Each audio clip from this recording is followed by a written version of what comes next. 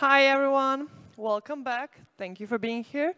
Our next speaker is going to do a very popular topic, apparently, and going to give you some insights on how to use the Let's Not Mention It AI tool, because we all know which one it is. So please give a warm welcome to our next speaker, Mladen. Voilà. Um, hello. Uh, well, yeah, we're well, it's a really broad topic, popular one. I didn't want to, I don't know, uh, turn it into some, I don't know, instruction manual for, for the usage, but uh, uh, we'll definitely cover some basics, you know, especially because it's a, a software developer conference. It's not like a dedicated AI, uh, AI conference that we are like used to presenting. Uh, so yeah, we'll give a nice short intro about the LLMs, underlying uh, technical things and, uh, for, and the solution that we developed at Nortal that's uh, uh, utilizing all, all of those things. So let's start. Uh, a bit short intro slide about myself. Um, let's say a professional career. I don't know. I started with some design because I'm uh, also a visual person and I like uh, I don't know visual stuff. So that's what drew me like to go enroll afterwards mathematical high school School of Electrical Engineering, then I continue with animation, game development, and then obviously web software development for uh, uh, quite some time. And then for really like the last nine or 10 years, uh, I shifted towards data science, AI, ML, and really I wasn't happier uh, concerning my professional uh, development and engagement. Uh, besides my position at Nortal, I'm also in advisory board of the Serbian AI Society. Uh, well, not to get, uh, give too much intro about that, you can check the website and inform, and it's a really uh, great uh, group of people, and we have like various projects, so, so, so please check it out. Uh, in my spare time, I don't know, I like uh, spending time underwater a lot, so free diving and some lately mountain free climbing, and also beer brewing, one of the, I don't know, craftsmanship that I'm doing like for, I don't know, maybe eight, nine years as well. Uh, the most, well, let's say the, the, the most important thing that people, let's say, know about me is that I really value a good uh, team more than anything else. Okay, uh, so let's start. This is going to be like uh, an agenda for today. Uh, and let's I would open up with a, maybe a short question. Do you know when was the, let's say, like first chatbot that was invented or released into the public?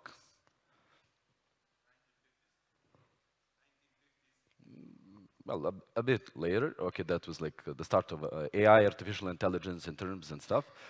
But let's say a decade or 16 years later, uh, ah, sorry, uh, I completely forgot that I want to uh, emphasize the, the importance of data and uh, the, to give a proper landscape. So let's say the data that we are dealing with, usually we have uh, dealt with a lot of structured data, then with the rise of the NoSQL, you know, like, so you had a lot of different storages, but the thing is that you are not aware of the fact that structured data contains, uh, well, is uh, taking uh, only 10 to 20% of the whole data that, that is available to us.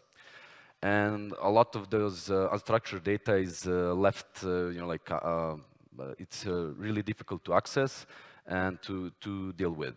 So LLMs is like one of the ways that you can efficiently harvest the, the knowledge from that data.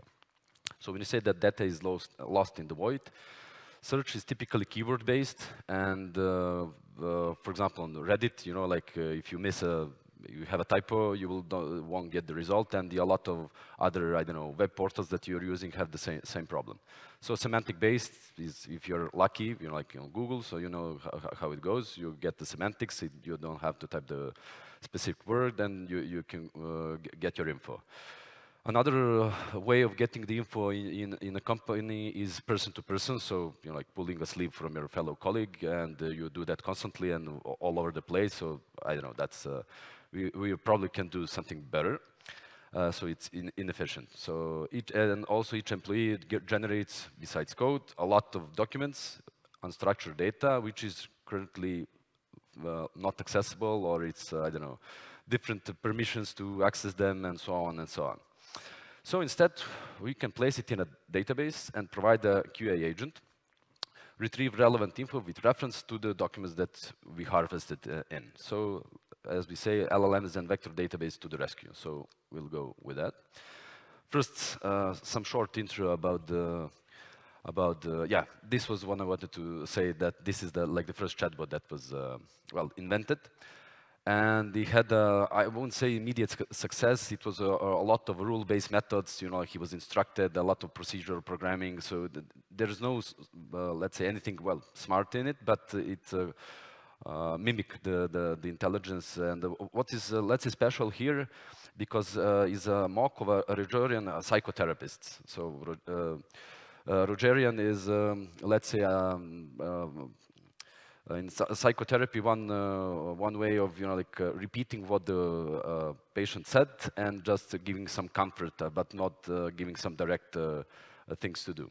So the thing is that real people you can see like some excerpt from the from the talk, and uh, it's you know like it's still very very good. You know like and this was like 50, 60 years ago. Uh, in that it was that good that people uh, didn't believe that there, that's a computer behind the behind the well behind the curtain.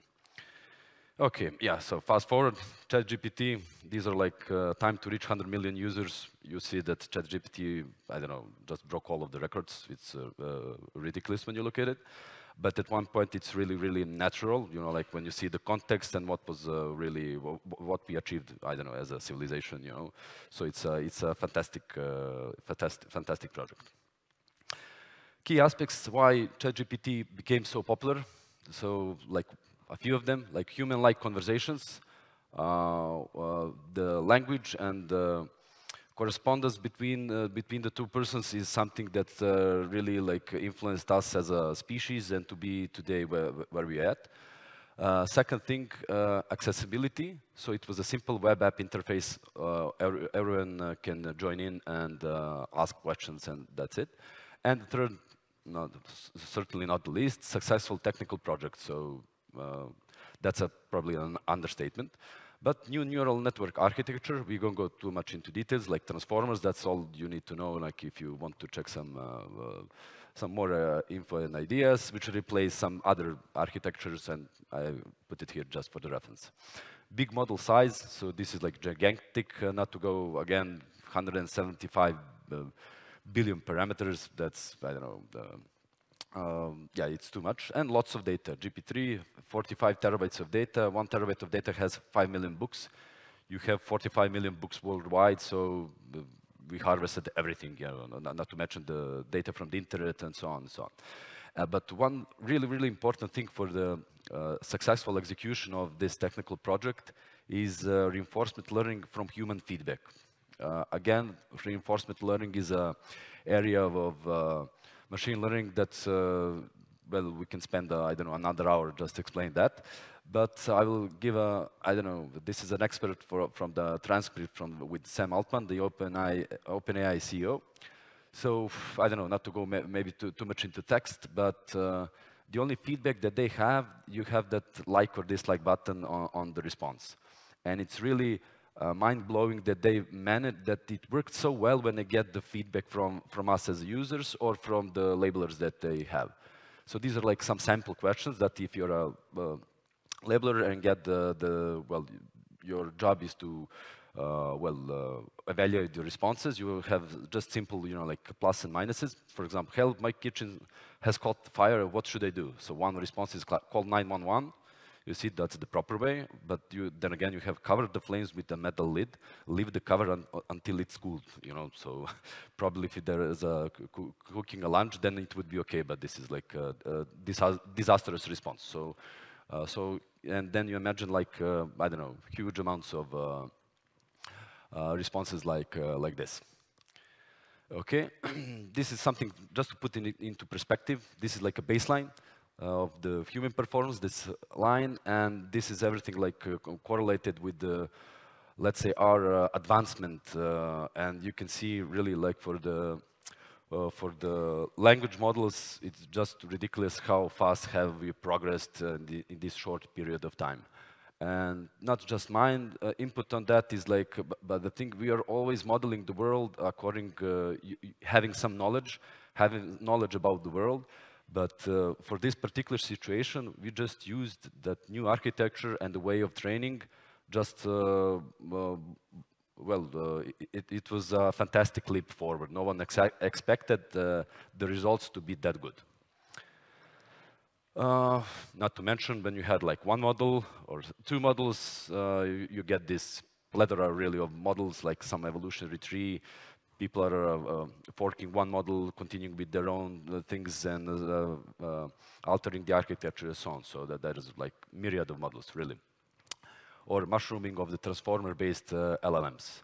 So currently, every big company wants to have their own, uh, portraying that they're the best. Uh, not to go into details, come on, uh, because evaluating the large language models is really, really hard. You know, like it's not just pose a question, but you, you, you, you it's really hardly quantifiable uh, the, the, output uh, that, that you get.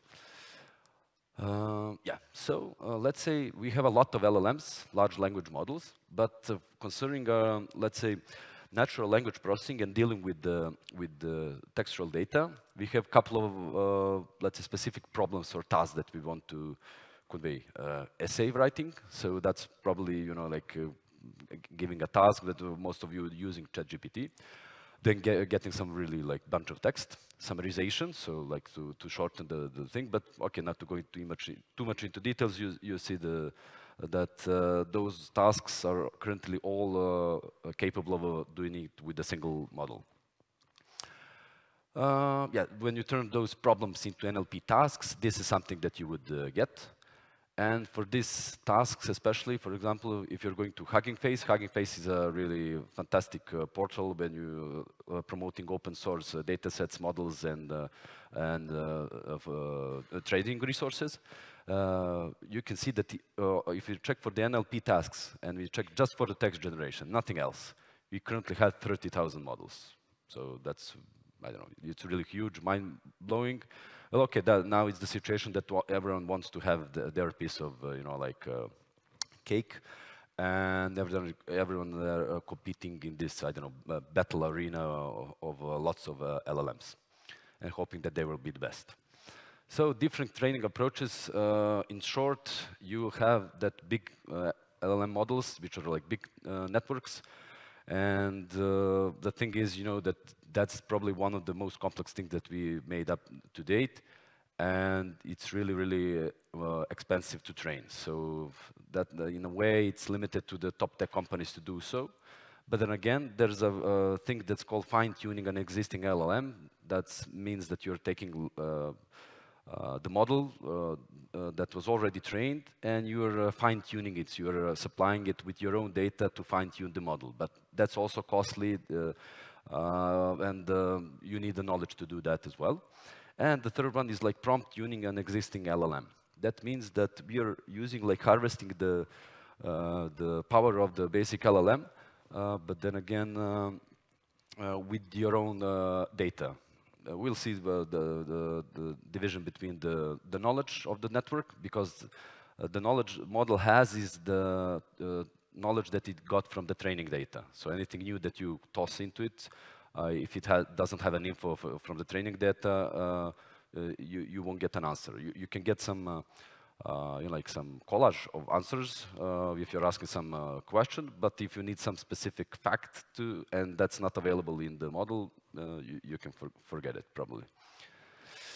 Uh, yeah, this is like a small digression because uh, I remember having this slide on my university, I don't know, preparing for a, I think it was a C++ exam. And this is like numbers everyone should know, from Jeff Dean at Google, not to mention all of, all of his affiliations.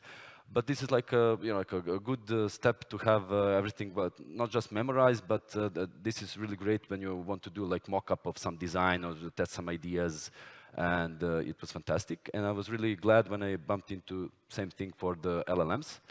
Uh, there's a reference there, so, so you can check it out later. But it's really, really great uh, for you to have, uh, you know, you, you can ballpark the price immediately and to have some sense of, you know, like uh, what, which model will serve it, uh, what type of hardware, hardware do you need, and so on and so on. yeah, so that would be it. And how can you harvest the knowledge from your data? So we saw that there's really like a lot of open questions, commercial versus open source, cloud versus on-prem, infrastructure setup, maintenance, developing expertise, team trainings, you know, like that, that takes a ton. So you can go to uh, alone on that endeavor, or you can partner with a company that has the know-how. So, uh, okay. So uh, shortly, like LLMs under the hood. Uh, this is really uh, this is really a big simplification, but it, in essence, it's uh, also true. In essence, we are just forecasting the next word. So all of these fancy LLM models, uh, how strong they are, you just give them a bunch of text, and he's like predicting the next word. And it's doing so like over, over, and over, and then you're getting your uh, like the full answer. Uh, yeah, so how do we do that? One of the processes uh, scanning billions of pages of human written text, as I mentioned for the, I think GPT-3, it was, uh, I don't know how many uh, terabytes of, 45 terabytes of data. Uh, yeah, and finding all instances of this. Yeah, so basically the, the, this would be your first approach to the problem. Let's see which word comes next after some particular word, uh, put that into a table and then uh, fetch when you need it and just predict it like that. But uh, that's, you see, that's a na naive approach. what's, let's say, yeah, just to explain also one small significance, words versus, word versus, word versus to token. Uh, token is something that can be a whole word, but can be some part of the word you know, like, uh, I don't know, uh, when you exclude the prefixes or suffixes of, of, a, of a noun, then you can get a token. But then again, it's not 100% uh, like that. Tokens can be shorter, can be, they can be longer, and this is like some also uh, good estimate about the, about the usage of all that. So for example, this piece of text, you see that it has 59 words, 64 tokens, and uh, 252 uh, characters. Uh, yeah, uh, yeah, when you that naive approach would be to have some similarity ma matrix, or uh, for each word you can get okay, what is the percentage uh, of the probability to get the next word? That's okay, but that's also naive. And the second thing, uh, we won't go well uh, because time is not. Uh, are not permitting us to go into details about everything. But the main thing that we are currently doing is we will let the network check uh, the, the input of the sequence of our sentence or paragraphs or text, and the, the ne neural network architecture will uh, have a lot more, um, to draw a lot more meaning from the sentences. What do I mean by that? This is the architecture, of the transformers. We, will, we won't go into details. And you can see this second slide is the thing that we are relating to. So some words that are really like close to each other, it doesn't matter that they can be completely different words and they don't correlate well uh, to, uh, to each other. But then again, it's really important for the sentence when you see that you're explaining, you have a subject and the object, but when you see when there's this it, you have to know for which particular word this sentence this correlates, and uh, for which part of the word it correlates the most and uh, the least. So, and that's the thing that uh, these architectures and networks uh, got us. So what is also important here? Because we can't have that similarity matrix of, uh, I don't know, 180,000 words, I think, uh, how much uh, there is in, for example, in English. Uh, but we are now uh, putting all of those words into vectors. So every word we will represent, the network will output some vector. Why is that important? You will see in, in a minute because in that network, this is really like a simplified solution. Not to mention there was a, uh, well, another model, uh, model initiative, Word2Vec, which compressed all of the words that we know into a 300-dimensional space. For the sake of simplicity, we put this in a two-dimensional space. Um, but to see what, what was the underlying thing that the network learned is, well, uh, purely mind-blowing, because for us, you can say that those are all just numbers, but when you see you have a cluster here, the, those words are similar because they are women and men, they are similar. Queen and king, they're similar, but they're a bit off. But the, what's great here, because you're using vectors, you can do, you know, like subtraction, uh, addition, and uh, you will get the results. And that's the, that underlying connection, which is, I don't know, which is also fa fantastic. Yeah, now we are coming to that uh, situation that we wanted to discuss. How can you harvest your own uh, data to, to be useful uh, in a so you can retrieve efficiently the, the, the, information that is contained in those documents and that it's not just a plain search, you know, like keyword uh, search or semantic search, uh, that you can really have a conversation and uh, find some, I don't know, maybe solve some task or have some uh, complex uh, tasks uh, with the documents that you currently have. this is just an overview some uh, popular models and what I wanted to say, this is the thing that is really, hmm? this is not working, no, yeah. Uh, what is really important is the token limit. We express the tokens, you can think of it as words, but uh, a bit more, like one third more. Uh, but it, it's a limit. So for the token limit, that means uh, you're limiting your input and the output.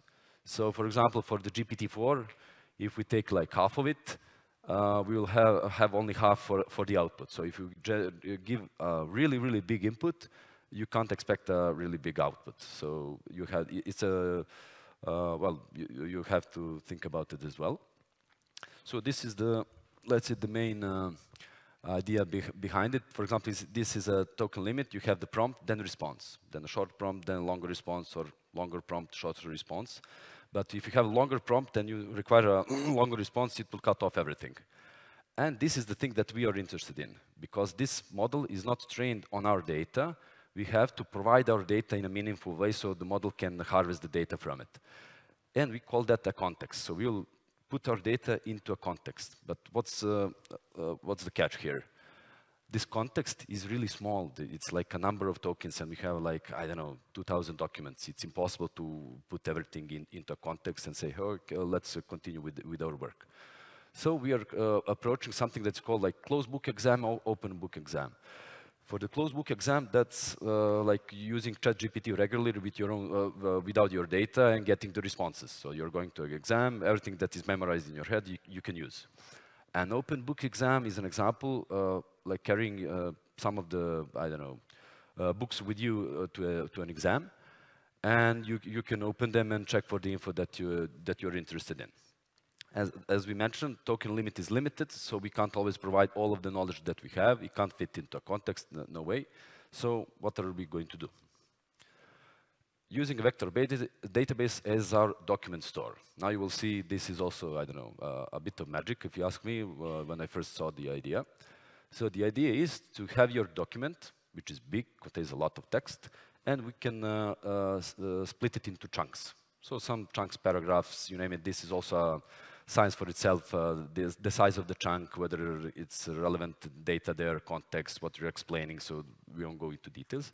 But the main idea is that you will have some chunks of text, you will use some embedding model, and that embedding model will, will convert your chunk of text into a vector, like a simple vector like, like, like that one for, for words as well.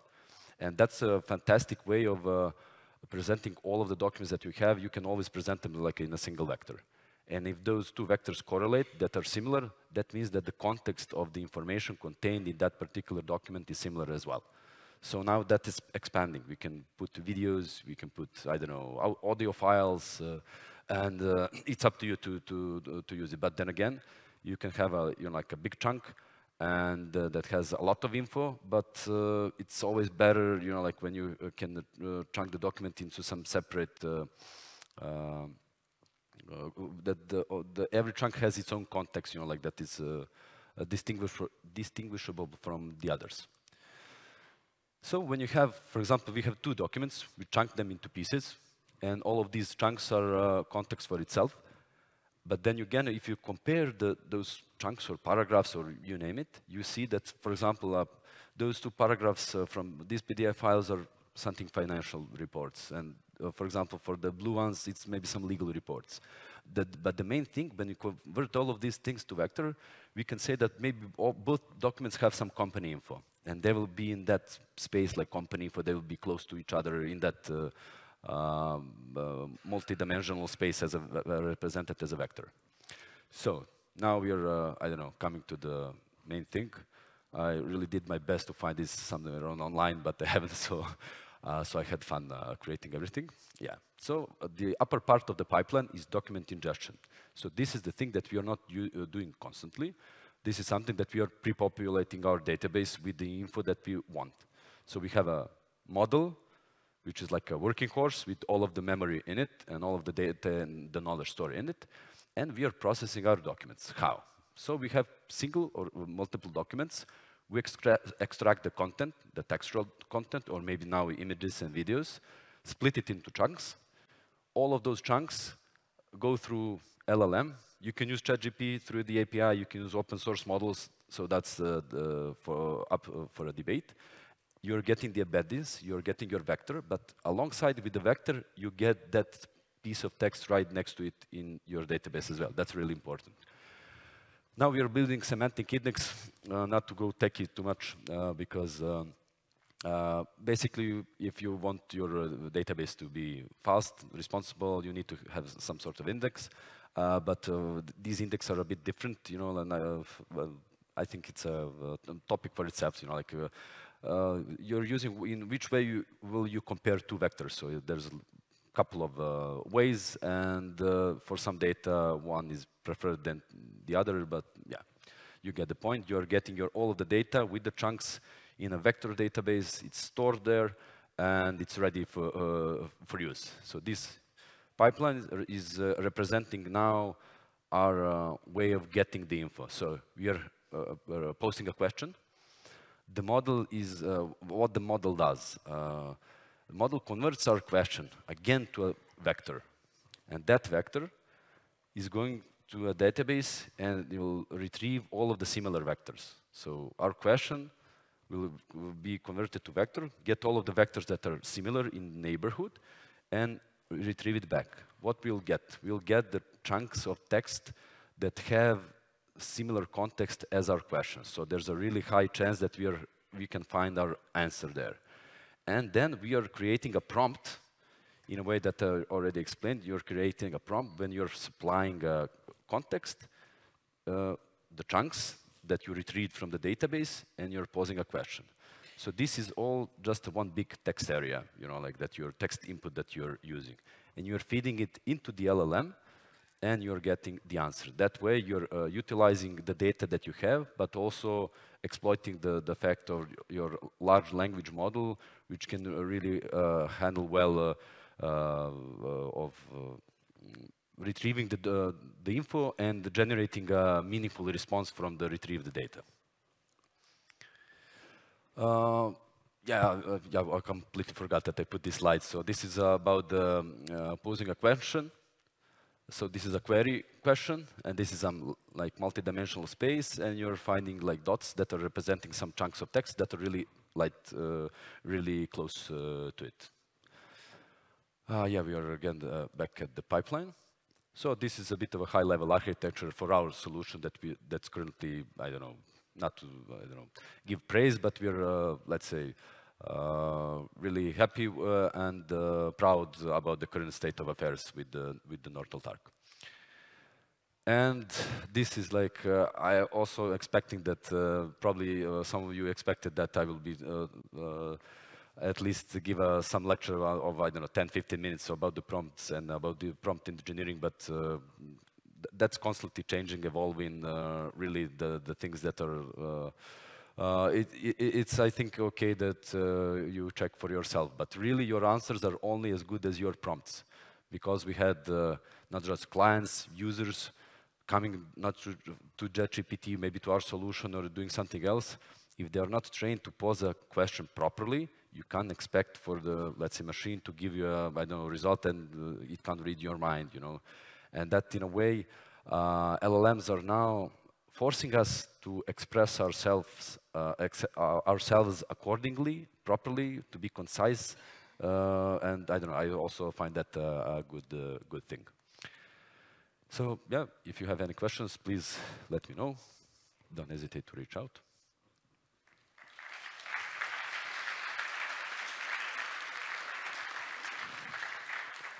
We can do some questions now. Couple of minutes. Anybody have questions?